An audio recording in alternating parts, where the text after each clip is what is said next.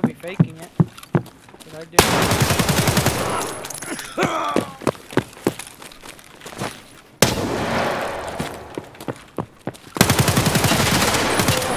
Oh, I just took two players!